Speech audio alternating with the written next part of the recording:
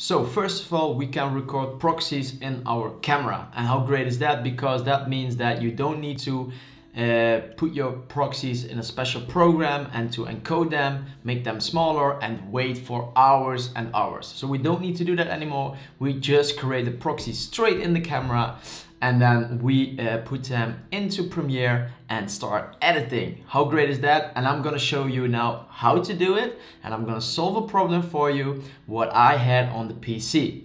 All right, so let's dive into it. So we have our clips right here. I recorded these three clips, 4K clips, and where can you find your proxy folder? It is the subfolder and here you have your proxy files. All right, pretty easy guys. So let's import these clips into Premiere. Alright, so we have our clips and now we want to attach our proxy clip so we can work really fast.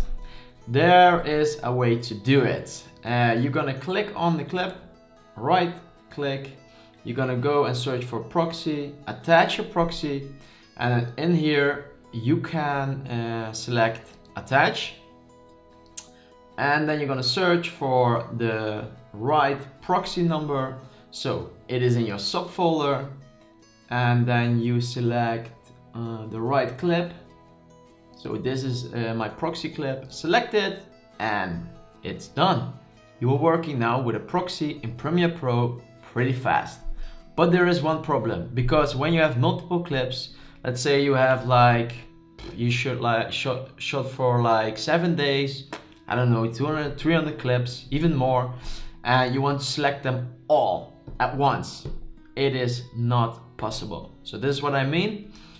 So let's say these are my clips. I'm gonna select them, right click, attach proxy, and then you see you can't attach all of these uh, proxies. That's not possible.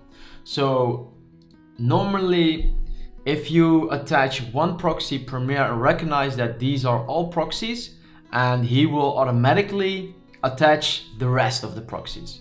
But in this case, I don't know what happened, but it doesn't work. So I watched tutorials and there was a guy who explained it very well. He solved the problem for me, almost solved the problem for me because he was a Mac user and I'm a PC user and um, yeah, a few things work a bit different. So the guy said, you need to change the last three numbers of your proxy file. So if you go to your proxy file,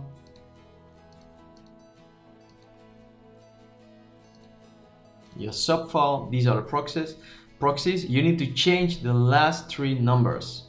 So SO3 and replace it and write down proxy and then it, the problem is solved. So I was quite happy and I tried to do it, but in a PC it is just not possible to change the last three numbers for all of these clips.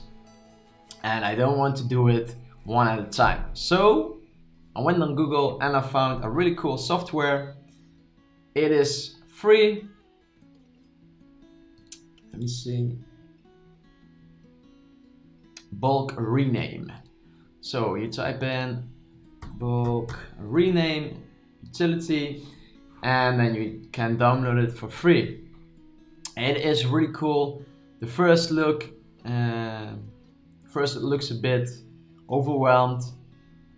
Here you see it, but it is really easy to use and very helpful as well.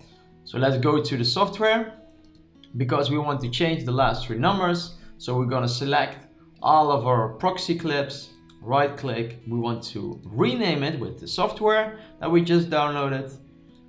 And in here you want to change, you want to remove the last number, so the last three numbers, and you want to replace the suffix into underscore proxy. Oh. Oh, come on. Come on. Proxy. And you see I just changed the last three numbers. Uh, yeah into proxy. Now it needs to work. Yes. Okay. Then you want to refresh your subfolder and you will see that you changed the last three names of your clips, of your proxy clips. Pretty easy. So now Premiere needs to recognize these clips and he needs to attach all of the other uh, proxies to all the files who you have imported in Premiere. So let's do that. Select them, right click, go to proxy, attach the proxy, and now we want to attach or search one proxy in the subfolder. Right, so double click and now he's locating media and there you go. You have now attached all of the proxies to all of the clips. All right, one last thing that you want to do before you start working with these clips is you want to click on the plus icon and you want to import the toggle proxy icon. And you always want to enable this proxy um, toggle when you are working with your proxies, of course. All right. So guys, pretty easy, pretty cool stuff. I hope you liked it. Um, if you think this is very helpful for you, please subscribe, like, and give me a comment. All right guys, see you in the next video. Bye bye.